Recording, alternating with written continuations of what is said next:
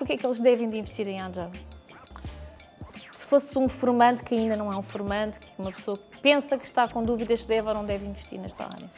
É, eu acho que assim, para quem não está na área ainda, eu acho que vale a pena investir no Agile, porque na perspectiva de carreira de longo prazo, como a gente estava brincando aqui, até eu me aposentar e tudo mais, é, é uma área que falta gente no mercado.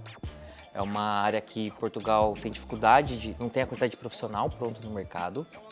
E além de não ter essa quantidade de profissional pronto no mercado, o salário é interessante é, e é muito gostoso trabalhar. Então, às vezes vale a pena, ah, eu sou uma pessoa que gosto muito de business, né? Gosto ali de maximizar valor de negócio. Putz, às vezes a carreira de PO vale a pena. Ah, não, eu sou uma pessoa que gosto muito de fazer gestão de equipas.